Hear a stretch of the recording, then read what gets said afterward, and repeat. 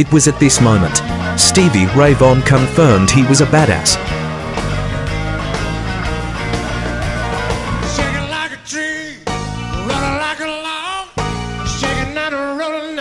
That ain't